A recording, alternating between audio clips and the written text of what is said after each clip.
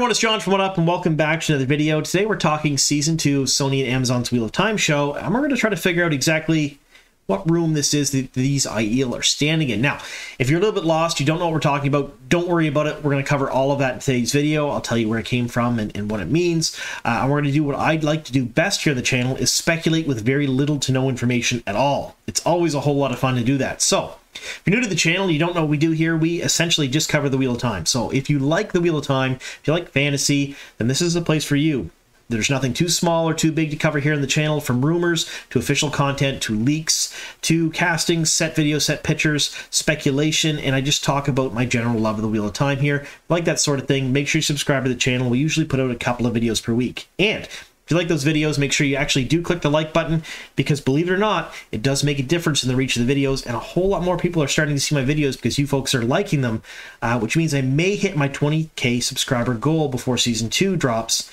And now that we know season 2 is dropping this year and, and more specifically this fall if you're in North America, so quarter 3, quarter 4 for those of you who aren't, um, we, we have a couple of months left to hit 20k. So fingers crossed we'll hit there. Now, before I get into the actual video, I do have to give a spoiler warning because, let's face it, we're going to be talking about this particular room as well as some elements of Season 2. So, spoiler warning. In today's video, we're talking about certain elements of Season 2 Sony and Amazon's Wheel of Time show.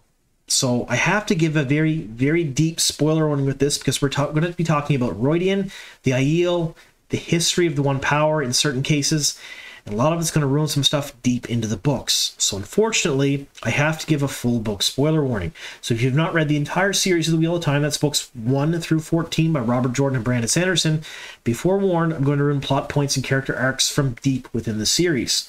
Also, if you haven't seen season 1 of Sony and Amazon's Wheel of Time show, I'm going to ruin stuff from that as well. You've been warned. All right, so a couple of weeks ago at JordanCon, we got a very special treat. It was a video from the cast and the crew of The Wheel of Time answering fandoms questions. So JordanCon put that out to the fandom and said, ask us some questions, and we'll pose them to the production team, and hopefully some of them will be answered. And some of them were, and it was a, a, like it was really cool. I'm not going to lie to you. There's a whole bunch of really good information in that. I did a whole video on it. It was probably a half hour long trying to explain everything that was going on. JordanCon actually released a video on their YouTube channel so you can see the questions and answers all there. Really very neat. But there was something that was sort of glossed over just a little bit at the beginning of the video, and that wasn't brought up again, but the fandom's been speculating on, and that's uh, that's what is this room? so you can see uh, two the Aiel here in this picture in this particular room. In this Q&A video, you had Rafe Judkins on set in this room, Sarah Nakamura on set in this room, and they introduced Bain and Chiad, played by uh, Ragnar Ragnars and Maja Simonsen, and reintroduced Aviendha, played by Eowyn Smart, in this particular room on set as well. Now, I don't think any of this was a mistake. I think it was there on purpose to cause us to speculate and talk about it, and they did a really good job of that because a lot of the fandom's just been a buzz about what this possibly could be. Now, Rafe did give us a couple of hints. He said this particular set that they were standing um, featured a lot of blood, a lot of water, a lot of costume changes, a lot more costume changes, and it was pretty big and epic. And uh, features very heavily in season two and again in season three. So that gave us some clues, and we're going to go through what he said, as well as try to take a look at some of the stuff in the background here and piece together what this room could possibly be. Uh, and like I said in the intro, that's my favorite part of running this channel is taking very little information and trying to figure out what something is, and usually being totally wrong or maybe right a little bit. But I'm not often totally right. But we're going to talk about it today, and it's going to be a whole lot of fun. So, um, other than being absolutely gorgeous, this room seem to have some stuff in the background. Now, there are three prevailing theories in the fandom right now. Uh, the first one is that this is Rhuidean. The second one is this is a Stone Tear. And the third one is, is this is the chamber that the accepted take their test in. Um, I'm leaning towards the third, but we're going to talk about all three in today's video. So we're going to start off by looking at some of the background shots in this particular chamber, uh, try to speculate what some of that stuff is there, how it could fit into the show. I'll compare it to some other things that we've already seen in the show, which might give us a little bit more um, idea of what could be back here. But essentially, a lot of what we're seeing here really does fit the three major theories, uh, which is the Stoneteer, the um, Rhuidean, or perhaps uh, the accepted testing chambers. So you see here behind Maja, you have an archway. That is definitely, totally 100% an archway. There's there's no doubt in my mind that's what it is. And there's a starburst pattern kind of carved into some rough hewn stone behind it. Now, the starburst pattern has seven circles inside surrounding another circle. And that's going to be important here in a minute. We're going to talk about that in just a second. But one of the things I want to mention first is that particular archway, as well as that starburst pattern, looks an awful lot like this. If you don't know where this is from, this is from Conan the Barbarian featuring Arnold Schwarzenegger. I don't know if this was totally on purpose or not. I've actually asked the question. I reached out to production. I said, was this on purpose? Did you make that background look a little bit like this? This comes from the Serpent Temple. Uh, for those of you who don't know, Robert Jordan did write a bunch of Conan books. Um, so I didn't know if it was a nod kind of to that or if it was just completely by coincidence. Either way, I thought it was really neat. But if you take a look at these archways, they are definitely archways and they're not snakes. They are very intricately carved, and you can tell that these particular archways back there have a very particular pattern to them. Um, from far away, it looked like scales from that first image, but they do look like they're carved a certain way. And then you get to the sunburst here, um, and I'm going to showcase a couple of pictures that we've already seen in the show here.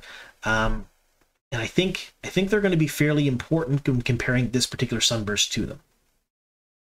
All right, so the images I'm going to show you now come from the opening credits of the show. So if you skip the intro every single time you watch The Wheel of Time, you're doing yourself a disservice. It is beautiful. It is absolutely wonderfully animated, and it features what I think the One Power should look like in the show during the intro.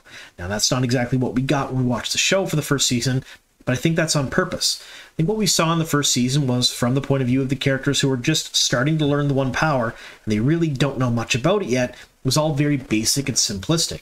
I think as our main characters start to get more and more experience, and the viewer gets more and more experience with the One Power, we'll start to see more and more intricate weaves that look a little bit more like the intro does than what we saw in season one. Now, this is backed up a little bit by what Sarah Nakamura has said that we're going to be blown away by the, how the power looks in the second season, and she thinks the fans are going to be really, really happy with it. Saying that, I think we're going to get more akin to what's happening in the intro of the show for the One Power in the second season. So there's that. Now, we're going to take a look at this starburst behind Maja Simonsen's head. Now, the starburst has a lot of similarities to a lot of the stuff in the opening credits of the show. You see the same sunburst type things happening around the head of an Aes Sedai here. Uh, inside that circle as well, you have seven smaller circles surrounding an eighth circle. To me, that tends to suggest the seven Ajas surrounding the Amyrlin. Now, I could be completely off base there, but I think that this means that this particular room is completely and unequivocally tied with the one power, and specifically the White Tower. That isn't to say that the Stone and Tear or perhaps Rhuidean isn't an option, but I am saying that so far, just by looking at this, I would think that we're looking at more of the White Tower than anywhere else in the world. You look at some of these other images in the intro, and they all seem to have the same thing. The halos surrounding the Sedai that are, you know, embracing the One Power. There's a lot of that sunburst happening there. Um, very intricate, very cool little designs, sort of like what we're seeing on the background behind Maja's head. All right, so we've covered pretty much all the information we've seen in the background, but I want to reiterate what Rafe said earlier on in the video. He did say that we're going to see lots of blood, lots of water, and a ton of costume changes. So we've got to try to fit one of those three spots, and it could be we could be completely wrong. It could be a fourth spot or fifth spot that we don't know about, but we're we're focusing on the three biggest theories in the fandom right now that fits everything we've talked about as well as what Rafe had said. So I'll start with Rhuidean. Now, Rhuidean fits some of it. So Rhuidean definitely has ties with One Power. And here's where we get into that deep book spoiler warning that I talked about. I don't want to ruin too much for anybody who hasn't read the full series who's watched the video this far. If you have, if you don't worry about spoilers, don't worry about it. But if you do worry about spoilers, this is your last chance. All right. Hopefully, if you're worried, you're gone at this point. Um, so the Jenn Aiel definitely 100% have ties to the Aes Sedai because they did serve them during the Age of Legends. However, they're not modern Aes Sedai. They don't have the seven Ajas as well as the Amyrlins. So if you look at me being correct about that sunburst, likely isn't going to be Rhuidean. But that's only if I'm right about that. It could just be a really cool little thing on the wall. It could be something that indicates the one power in another way we haven't talked about. I don't really know. Or they could be changing it that the Aes Sedai have always had the seven Ajas and an Amyrlin. It hasn't been exactly the way it was in the books. So there is that. We're talking about lots of blood. There were certainly a couple of attacks in Rhuidean that did happen. The Darkhounds uh, come to mind. So that's a possibility. Um, Rafe mentioned lots of water. Now, At one point, Rand does reach deep within the bowels of the earth and pull up water, and it kind of fills in a mini lake at Rhuidean. That fits there as well. Costume changes, though. I don't see costume changes really fitting in Rhuidean unless you count Mat fighting naked in the books, which is a possibility, I guess. But I can't see there being a ton of costume changes here. Uh, maybe if he's referring to Aviendha going into a Wise One's garb, that's quite possible. But that doesn't really account for a ton of costume changes. So for me, Rhuidean is probably the weakest of the three. The only real big evidence we have here that, that could be Rhuidean is the fact they introduced Bain and Chiad and reintroduced Aviendha in this particular room on this particular set. It could be that they were there that day, they were filming or getting ready to film in that set. Or it could be that this is Rhuidean and the Aiel are home in the waste and they did that on purpose. So it's a possibility, but not one that I'm super in love with. So we'll put this one as my third favorite choice. Second favorite choice for this would be the Stone Tear. Now, this could be possible because in the Stone Tear there are multiple columns around Callandor. Now, these aren't columns, these look like archways in the background, but there could be some creative liberties here, and these could be the columns that, that they're talking about in the book series. Um, Tear has and has for a long time, especially the Stony Tier, great ties to the One Power and the fact that they don't really like women channeling. They don't like anything to do with One Power. And they don't like anything to do with objects of power. So they collect anything and everything that could be an object of power and jam it in the storerooms. Uh, and they also bundle anybody off who can channel right away out of the country to the White Tower because they don't want them in Tear. So it's entirely possible that within this chamber, that houses Callandor, you see carved reliefs in the wall that represent the White Tower or the One Power. Totally possible. But again, maybe not so likely. So there's that. Now, the Aiel being there makes total sense if that's a thing, because they were there when the stone fell. Um, when the people of the dragon come to the stone, the stone falls, and that's one of the prophecies of the dragon. So again, that's a possibility. Now we're into what Rafe said. Lots of blood? Totally there was a huge battle for the Stone Tear. There would be a ton of blood here. I can totally see that. A lot of water. This one is where we get a little bit iffy. I don't see much water in this chamber unless we're talking about when Rand was fighting a Ishamael and going through the different spots in. Rhuoid. Uh, there's spots within that fight where he could pull away all the air in the room, fill the room with water, different things like that. That is a possibility. So maybe.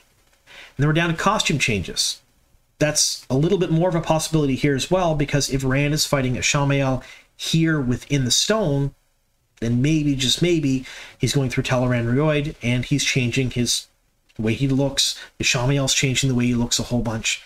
It's possible. Again, I don't think much of this is very likely, so I don't really like Tear as a choice. That's why it's my second choice.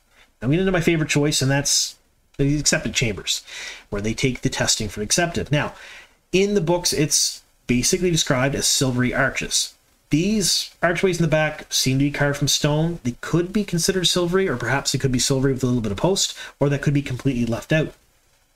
The um, carved things in the wall make total sense if it's a white tower, because if I'm right about it, and it's the seven Ajas around the Amyrlin, then quite likely they would be in the tower. And again, the way the background looks with the rough hewn stone as well as the worked stone could be the bowels of the tower, which is where the accepted testing chamber is. Totally possible, totally fits my image of what the accepted testing chamber looked like. That's why I was really excited when I seen this.